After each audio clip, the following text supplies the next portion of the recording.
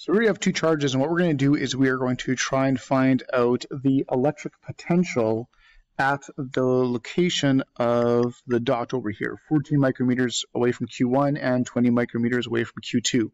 Each one of these charges supplies electric potential, and then we can put the two potentials together. So let's just start simple and find out the two electric potentials. So if I go to my first charge over here, Q1, I can calculate the electric potential, which is KQ1 over R, and I can calculate the electric potential due to this charge at that location. Now, if I do that, I can find out that this charge has provided a potential of about 4.89 times 10 to the 6 volts of electric potential.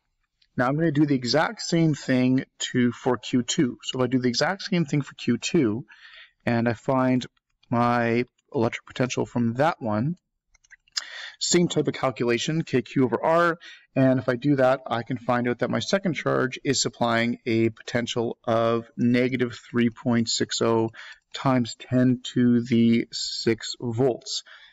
So there's my two potentials. Now the nice thing is all I have to do is take those two potentials and put them together. And the nice thing about potential is it's a scalar quantity. Still hang on to positives and negatives due to the nature of the charges, but I don't have to make any triangles or do any trig or any Pythagoras. So if I put those two together, I can get my total voltage at that location and if I do that, I can find that my total voltage at that point is 1.29 times 10 to the 6 volts. And that is my total electric potential at this location. Now that total potential can be used to find potential energy, but only if something is put there. So let's take an electron and put an electron there. And if I put an electron there, that electron will then have potential energy, which can then cause it to move. So let's see if we can find out the potential energy of the electron. Now, a really simple way to do that might be to find the potential energy, which of course is KQQ over R.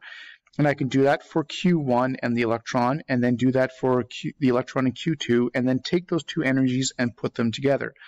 But I don't need to do that because that right there is the electric potential from each one of those charges. I've already done this part already. So an easier way to do it would to be instead just use the expression energy is equal to QV. I have the total voltage. I can put that in there. And if I put the total voltage and then introduce the electron, that'll give me my total energy for my electron. So let's do that. So I take my Q value, which is 1.6 times 10 to the negative 19, it's a negative charge, and I multiply that by my total voltage, and I can find that my electron would have a total potential energy of negative 2.1 times 10 to the negative 13 joules. Now, a really, really common thing to do for this would then maybe change to kinetic energy or do something else. But another really common thing that can actually do is maybe that electron moves, and maybe that electron would move from there to there. Well, if it moves from there to there, to do that requires work. And what you could do is find the potential energy at this location, find the potential energy at this location, and then the work done would be the change in potential energy. And once you had that, you could find out the average force that was used to move from one place to the other. There's a few other things you could do, like find speeds using kinetic energy and stuff like that. So change in energy is the key for a lot of this type of stuff if the radius is changing.